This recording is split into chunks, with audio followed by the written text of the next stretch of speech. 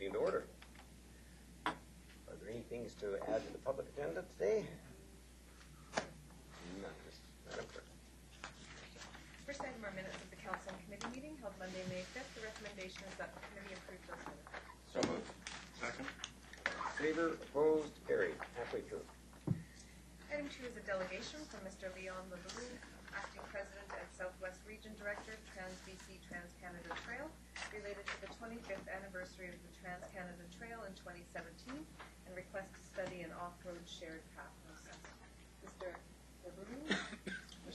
Monsieur Lebrun, bienvenue.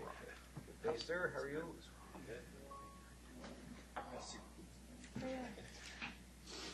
Enough Nazir. I'll start with our thanks for your ongoing work for many, many years. This is a great anniversary, but uh, a great deal of it happened because of you. Thank you so much. Thank you very much, and, uh, Now, what do you want? and thank you, thank you very much to give me, give me this opportunity to, uh, to address you, because uh, it's an opportunity for me to do the same, and that is, uh, Coquitlam is one of the communities that jumped in on the idea of the Trans-Canada Trail very, very early on, and, uh, and was ready in time for our, our relay that happened in year 2000, and, uh, the staff uh, worked with us diligently, and uh, we got quite a bit done. So um, I've got, I guess I just pressed the red button here. So um, I, I'll do this little presentation with uh, the slides to make sure that I don't go more than 50 minutes. Oh, no, it's fine. and um, so I don't need to convince you about about um, the necessity of trails for our well-being. And uh, so what I'm going to do is I'm spending the first part here to just look at what we have right now as far as the Trans-Canada Trail through uh, through Coquitlam, and then talk about uh, where we might make some improvements. And um, but in case some of you don't know uh, what the, the Trans-Canada Trail is all about, it, the idea is that we want to connect uh, communities, and, and of course we're trying to do this in a non-motorized way, like try to, in fact, be, be separated from the uh, from the motorized and, and easy. Not loud enough here. No, boy. Uh, and we're trying to uh, make it easy for people to wayfind because it's a it's a problem uh, for people if they, you know, if, when they get lost and so on, and it discourages them. And of course, it brings people to uh, to all kinds of features in the community, and hopefully, uh, there are, uh, we have ways of showing them how to, to take advantage of these uh, these amenities that are in the in the community and features that are in the community. And um, the thing that we're really trying to work on is to give people a quality experience, and by giving people a quality experience, we've got something to market. If we don't, if we, if they have a poor experience, it's not truly marketable.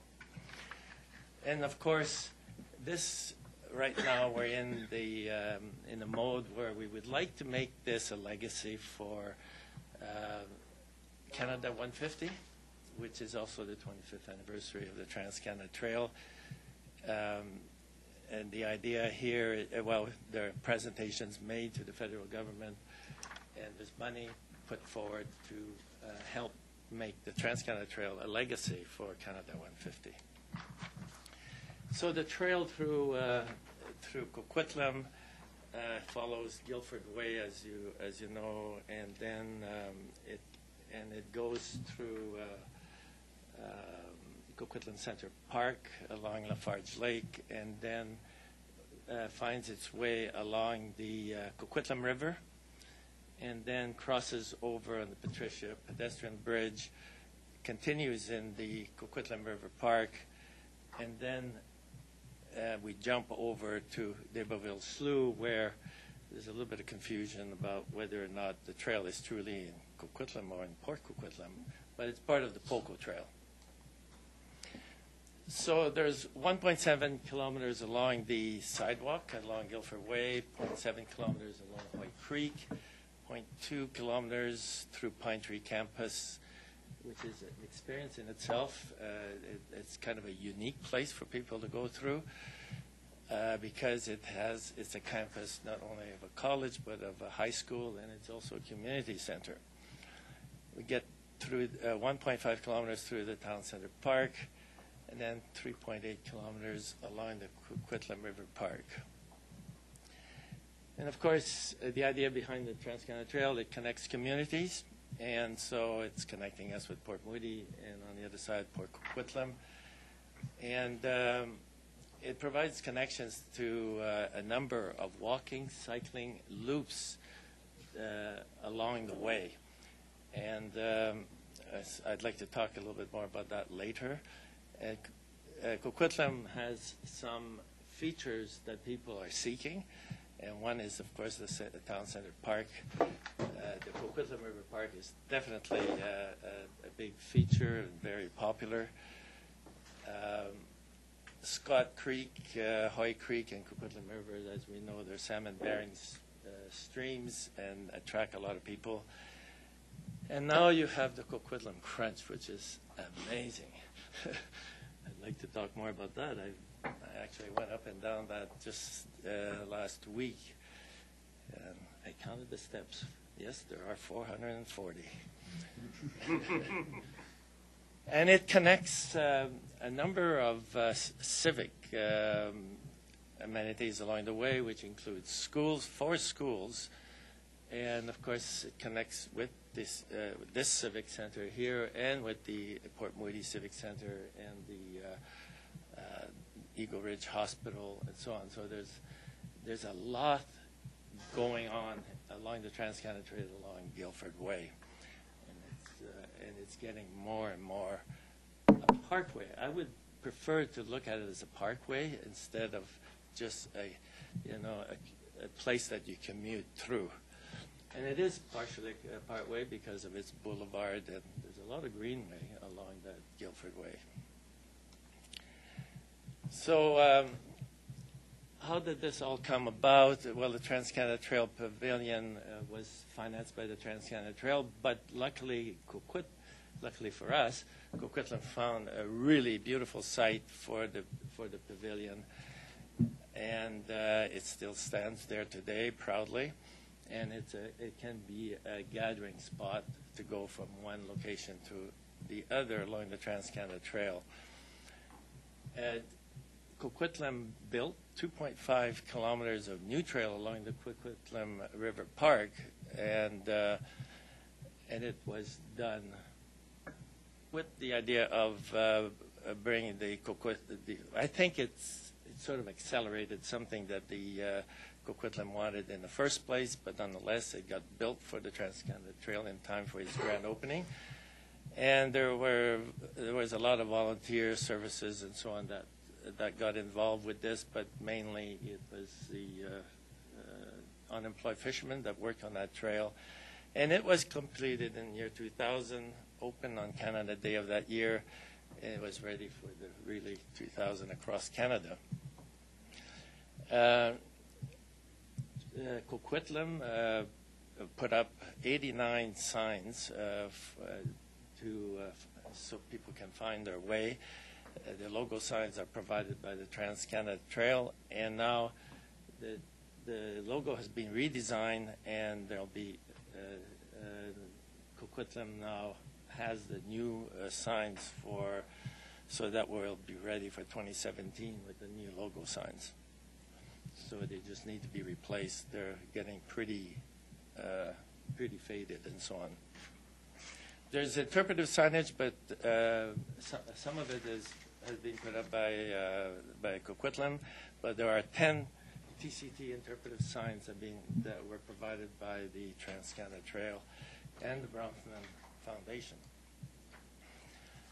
So um, along, along the way, um, we, you know, it would be, we're looking at seeing ways of improving things, making things more attractive for, for the user.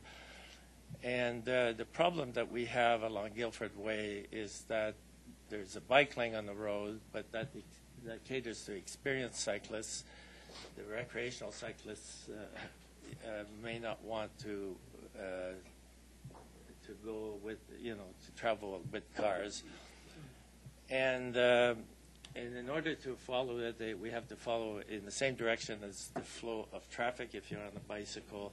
And that means that we probably would need to put signage on both sides of the road to make it easier to, to find our way. It might be enough to make the north sidewalk a shared sidewalk with bicycles, but what would be better if somehow we could widen that whole section, 1.72 kilometers, between uh, the boundary of uh, Port Moody and Hoy Creek, and uh, and make that a uh, uh, a shared trail with pedestrians and cyclists. And it's mainly cyclists like uh, school children and so on, and uh, people my age would use that that recreational path because the commuter path would always be there for those people who are in a hurry.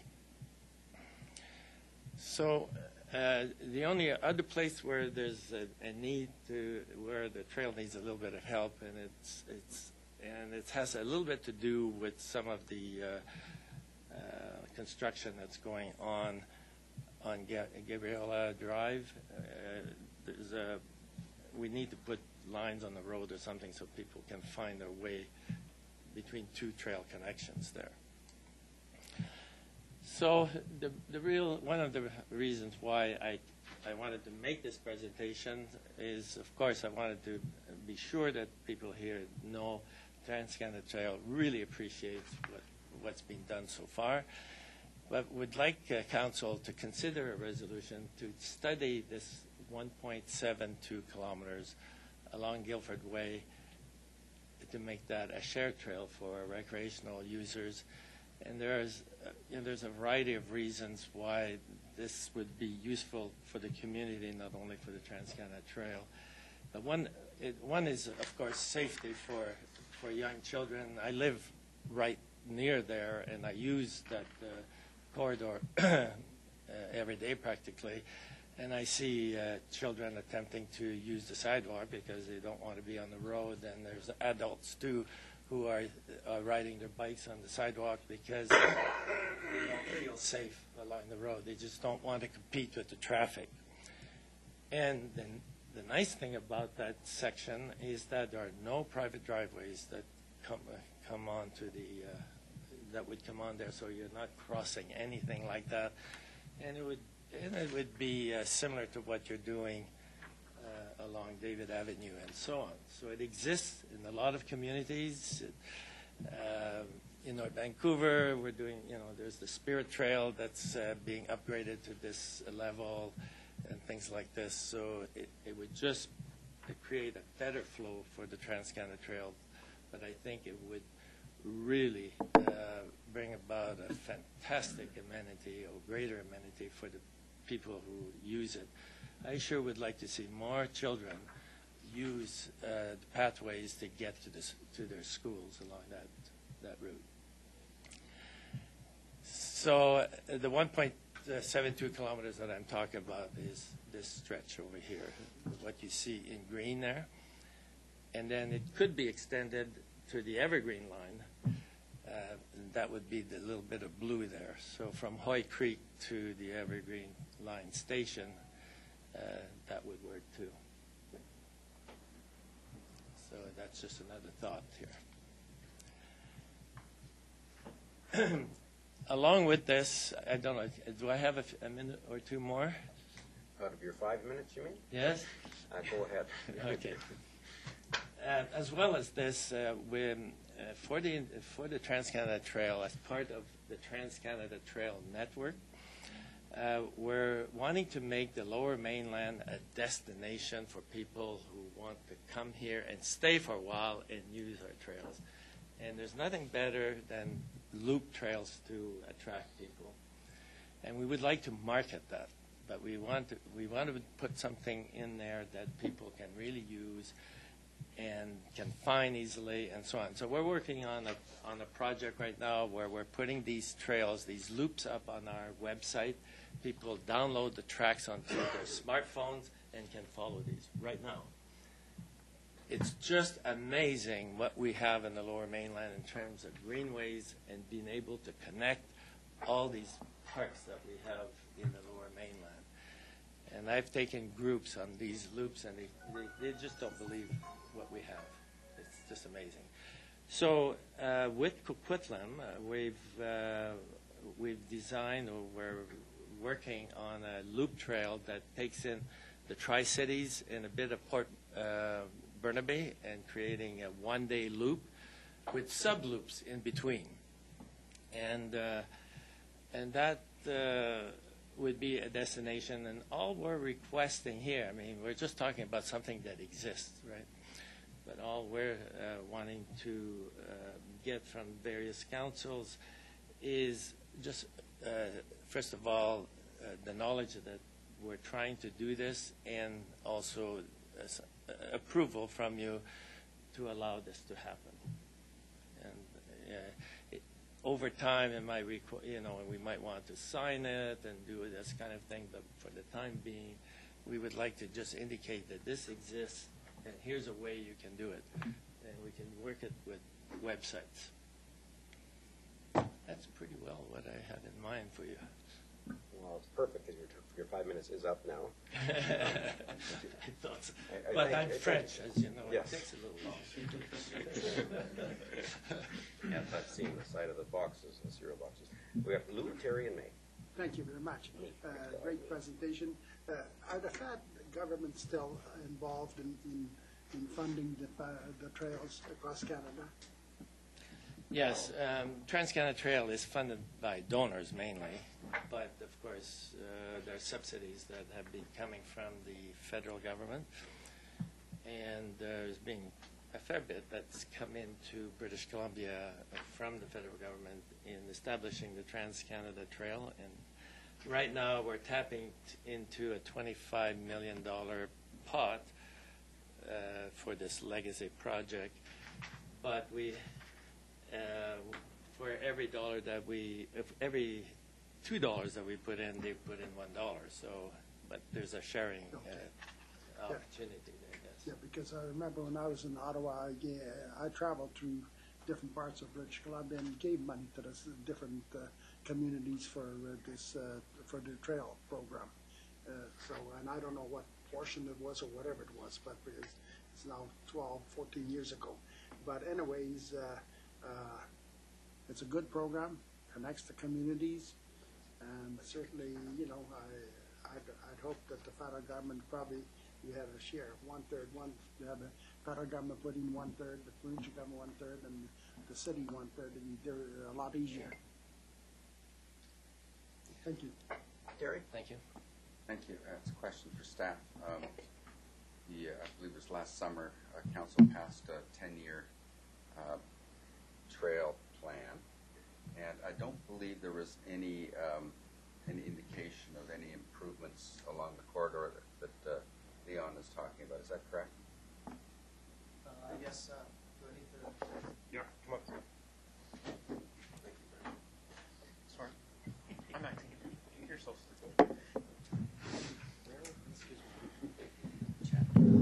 Uh, yes, um, uh, through the chair, yeah, there was, um, uh, the, the, the trail, the master trails plan, um, identified a number of trail improvements throughout the city, but in terms of this corridor, there was nothing identified. In fact, the way it was done is because it's an actual street corridor, um, it's part of a, of an integrated, um, mobility corridor, It's a certain level of, of, of, of uh, mobility on there. There is an existing, uh, on-street bicycle facility and a sidewalk, and that was referenced as part of the, the strategic transportation plan, which is how we referenced that type of, of um, conveyance, in other words, that type of mobility corridor.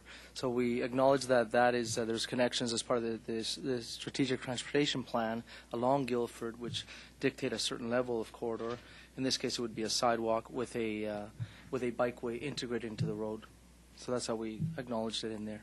Right, and um, so 1.72 kilometer off-road, and this is a question for Leon, that would be essentially expansion of the sidewalk taking unused, the the boulevard space, it's grass, that's just to the north of the sidewalk, and that's what you see, and, and then having the bike lane as well, and then having a, a multi-use pathway, is that, is that Yes. what you see? Uh, Similar to what's, uh, what's, has been begun in Port Moody, it would be a continuation of what, uh, what they're doing in Port Moody, but exactly the same, the same kind of thing that would create that continuity of that pathway. And uh, like I say, it's, um, uh, it's very popular already. The sidewalks are uh, well used along with the uh, cycling uh, corridor, you know, there are hundreds and hundreds of cyclists that use that that corridor, and um, but also uh, uh, we talk about mobility. We have people with wheelchairs and um, electric uh, uh, mobility devices. Uh, they're having problems with the, with the sidewalk as it is. It's quite narrow actually, so that's another issue. And they are trying to get from from these places that we're going to the other thing, too, is that the Guildford corridor is not hilly like a lot of the other corridors that we have here in Coquitlam. This is one area where it's quite flat. Uh, it's accessible to everyone, and it does ac- access a lot of facilities. And you would see the two-way traffic uh, on the Trans-Canada Trail all on one side, all on the north side of that. Yes, That's I- what you want to see there. Okay, so you want to just mark it. Yeah, well, after looking at it over and over and over and over again, the north side would be the, you know, the most appropriate. There are elementary schools and the middle school and, you know, all the schools, except the high school is on the other side, but, you know, they can easily cross. And now there's the Evergreen line that's coming up at the other end. Do you have any idea what it would cost to uh, essentially double the width of that sidewalk? Well, I would be only guessing, but it, I would, I would, it depends what you would do. If it meant, you know, I would imagine that the engineers here would look at that and say, well, let's do what they did in Port Moody for a section. They took out the sidewalk and they just made it into a, um, a unified asphalt pathway. If you're just widening the pathway, then of course it would cost a lot less. I think there would be a few little retaining walls to put here and there, and that's what would bring up the cost. But, but generally, most of it, there's, there's a lot of room there. And I watch the, uh, the children at the, at Scott Creek School, they're, you know, they're doing all their runs on, you know, they're going around the school, along that sidewalk, into the grass, and, and there's no doubt in my mind that it would be extensively used. The cost my guess would be about two hundred thousand dollars. Thank you. This gives us something to think about. Appreciate it. You, Mae? Well, I think the cost is probably going to be a little more than two hundred thousand dollars. We can't even build a bathroom for four hundred thousand dollars, so. um, Just to the engineer, um, any guesstimate on, for multi-use pathway or um, per kilometer? It, it widely depends on the circumstances. I understand that the section involved, uh. Has a sidewalk now. Yeah, there's a sidewalk, but between the sidewalk and the property line, in some instances, there is a retaining wall. Yeah. And the exact location of the retaining wall, relocating that wall to provide enough room for a multi-use pathway can be very expensive. As for under general conditions, I'm not sure Captain, would you have a figure? Um, in general, when we're building the multi-use pathways, we look at about three hundred dollars per meter, uh, to construct a three-meter wide pathway. So that's Hmm. per linear meter. So one point seven, without even considering retaining walls, would be in the half million dollar range if it were a new pathway built all the way along the north side. So, but, uh, as, um, as expressed, there is existing sidewalk there, so it, the devil's in the details. The cost will be in the details of, of what section. Okay, thank you, Catherine. So say we're under a million dollars, um, do we have access to these federal funds for a third of it? We don't know for sure. The funds are there to, um, to uh, get over some really difficult gaps along the trail, like big bridges, big projects. So those take priority, and, uh, and of course, that funding is for projects right across the country. But my guess is that uh, if we have uh, projects that are ready to go, and uh, there's going to be a panic to, to use up that money near the end, is my guess. When's the end? Well, it's, uh, as we get into 2016, uh, my guess is there's going to be a panic there and say, okay, um, we're going to open up the gates a little bit because the way they've set it up now, it's really difficult to access the money. Okay, thank you. And my last comment, Eric, our new tourism director, is here with us today, and perhaps you can grab Leon on his way out and um, have a chat, because we also were talking about some um, uh, apps and things like that for trails and looping and all that, so, Love to do that. yep, he's going to watch where you're going. Thank you very much. Thank you. Um, I've written the uh, roadway version, and we used to, in fact, Mike Clay used to make the joke that you knew when you got to Coquitlam, you had nice signs that welcome to Coquitlam, you knew you got to Port Moody because the bike lane ended. And, uh, and, and bike, Port Moody has done a little bit now, and they, on, particularly on the south side of uh, but uh, clearly that, there's a gap there in the connection between Eagle Ridge Hospital and uh, Yeah, small gap Okay, there. yeah, It's, so now you're, you're relegated to the road and no matter what you do. So I, I foresee this particular one point seven as being, I think, a pretty easy project to undertake. Uh, eh, Have you contemplated whether one on either side, one on both sides?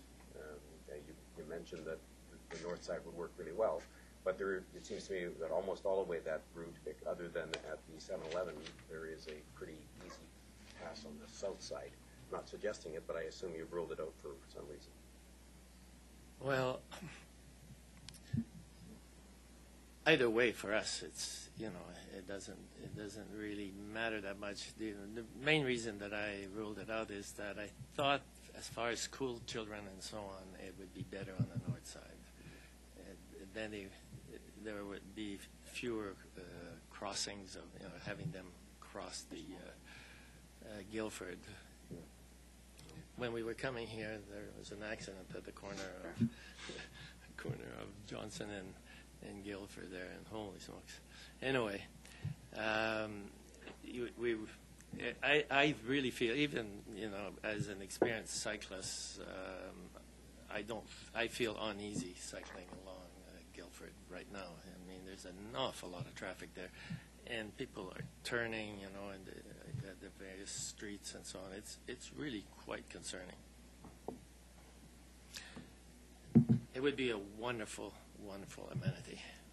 No, I, I, I don't question it at all. I think uh, you, you, you have struck upon a, a section of road that doesn't have any driveways other than, say, Eagle Ridge Elementary. I think is about the only, sorry, Eagle Ridge Pool probably the only Yes. driveway that I think that Correct. crosses that section. So I, I'd I'd love to see us put this into the mix and see if we can get the, the, the, the plan at least designed and, and get it on a priority list so we can be ready when some funding does get available. That- Yeah, and, and that's pretty well what I'm requesting is as a resolution to have it studied, you know, to see if it, uh, if it's feasible. Yeah, sounds good. Brett? Thank you, Leo. Um, I support our staff taking a look at this, studying it. It needs to report back to staff on, on the ability, the actual costs and a rough estimates, not the exact estimates. I also see the other part to this is, I think in that area, there's also probably going to need, need to be land taking also, which would probably add to the cost there. I don't think we have the boulevard in all those areas, so we'd have to negotiate with the property owners along that stretch. So I, I, I like the idea of it. Um, up in the northeast, I was one person that pushed for the three meter and the extension of the three meter pathway all along David, all the way up to Jim McIntyre in the early stages to get that put in. Just not the trail going down there, but to have it along the road. So that's, I was hoping to get it down Coast Meridian, but because of fisheries, we couldn't fit in. We did get, but those things I like to see, and, and that was a new area, so it's a lot easier. So I'm supportive of staff going away, taking a look at this, and, and, and a rough cursory, come back to council, we'll have to see what the costs are, and then we can start to find out how we can access the federal money.